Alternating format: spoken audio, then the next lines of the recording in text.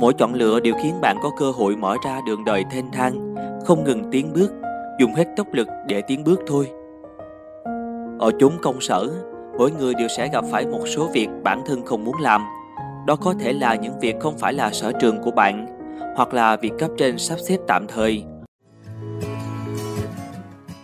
Việt Nam sẽ là quốc gia tăng người siêu giàu nhanh nhất thế giới giai đoạn 2014 đến 2024. Số lượng người siêu giàu trên toàn cầu Những người có tài sản trên 30 triệu đô la đã liên tục tăng trong những năm vừa qua. Theo dữ liệu từ báo cáo sự giàu có vào năm 2020 của công ty tư vấn Knight Frank, Mỹ tiếp tục duy trì được vị trí số 1 thế giới về những người siêu giàu của mình. Trong khi đó, giới siêu giàu ở Hàn Quốc và Ý đã tăng trên 20% mỗi nước kể từ năm 2018. Điều thú vị là, sau những một năm trời từ 2018 đến 2019, Ả Rập Saudi chỉ có một người gia nhập danh sách siêu giàu. Nay Frank đã phát hiện ra rằng 27% tài sản của người siêu giàu nằm trong những khoản đầu tư bất động sản với các loại tài sản có tính thanh khoản cao hơn. Trung bình, mỗi người siêu giàu nắm giữ 23% tài sản của họ dưới dạng cổ phiếu, 17% trái phiếu, 11% tiền mặt và 3% bằng vàng và các loại kim cương đá quý khác.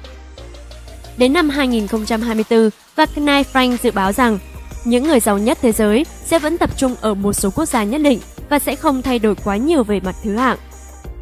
Đáng chú ý sẽ là những người siêu giàu đang gia tăng ở Trung Quốc và Ấn Độ. Cả hai đều được dự báo sẽ tăng trưởng tới 3 chữ số trong giai đoạn 2014 đến 2024, lần lượt là 135,8% và 238,3%.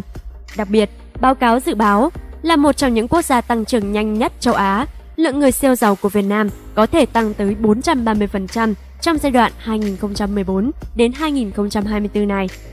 Con số tăng trưởng này cũng cao hơn hẳn so với các quốc gia trong khu vực như Thái Lan 100%, Indonesia 114% và Malaysia 67%. Trong năm 2019, theo thống kê của Knifeng, Việt Nam có 458 người siêu giàu. Nếu xét theo lĩnh vực, người siêu giàu Việt Nam chủ yếu hoạt động trong lĩnh vực bất động sản, hàng không và thép. Từ nhịp sống kinh tế, tổ quốc.vn, đầu đáo TV tổng hợp và đưa tin.